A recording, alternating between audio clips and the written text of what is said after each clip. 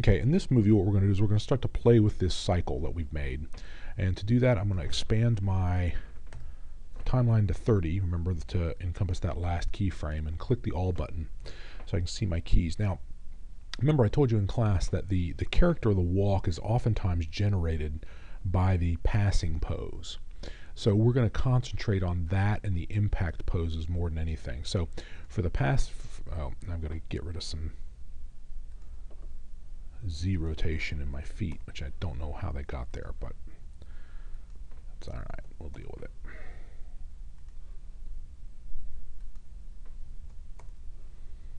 Don't know why that's there, but there, that took care of it. Okay, so here's our impact pose. So what I'm going to do, I'm going to start with this. I'm going to drop this down really far. Okay. And we'll pull this up to frame 8. And instead, what I'm going to do now is I'm going to pull this foot up. I'm going to go ahead and rotate it. And then I'm going to take this pole vector and I'm going to move the knee up here. Let's see what we got now. I'm going to go ahead and move it, move this forward too. So now we've got a walk that looks, pops it up and comes down. And then, of course, at 12, we've got our raising. Basically, he's kind of raised up. By the way, I'm going to do the same thing here. At frame 12, I'm going to really raise it up.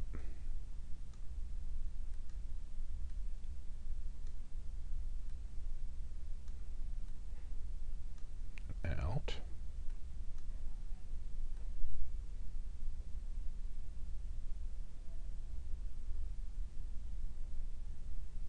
Okay, now this little guy, I'm having a little bit of a problem here.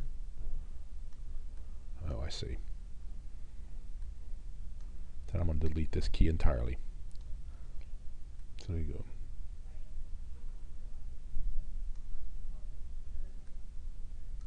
He's way out. I'm going to rotate it.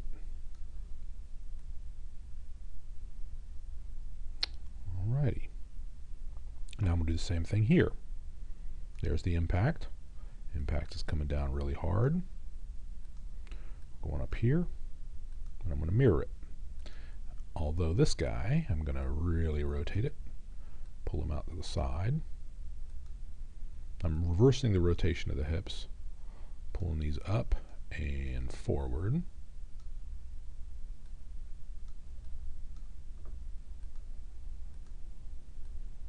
This up.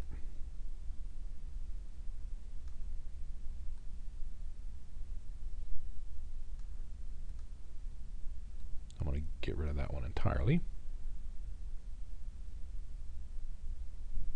And then I'm going to go to my up pose.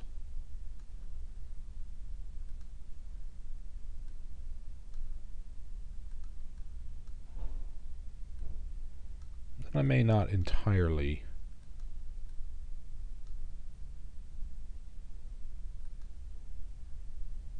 invert these two. but I'll get close.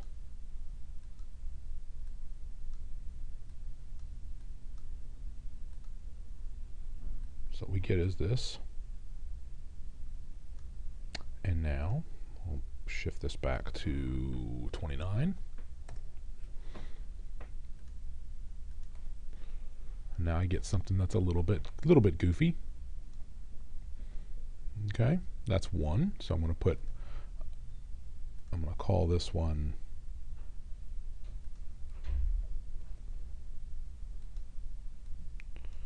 cycle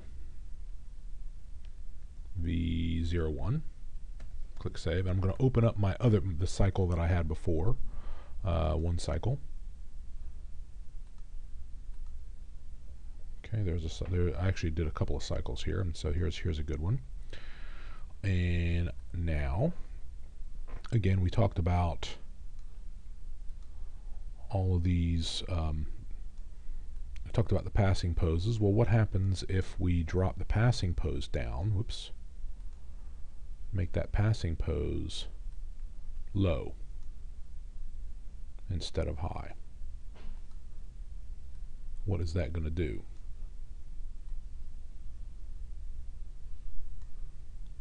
How does that change the walk? Suddenly it's more of a, of a crunch.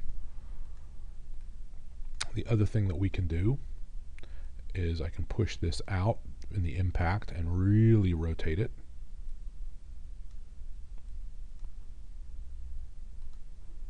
do the same thing here. So that what you get now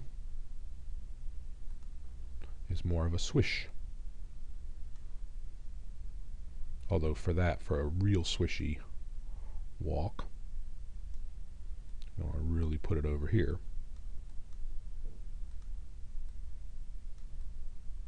I'll raise them up to do that.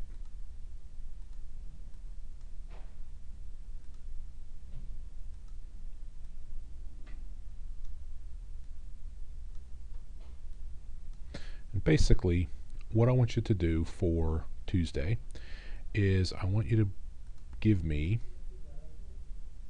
so now it's more of a more of an effeminate walk. Now there's there's more to be done with this. We can also play with the timing.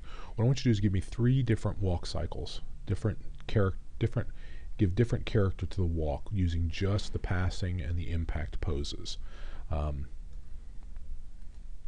and if it doesn't, it should look like a real walk. No Ministry of Silly Walks, but uh, it should fit into this. There should be three separate Uh, cycles, and you'll go ahead and render out play blasts, and we'll take a look at some of them on Tuesday.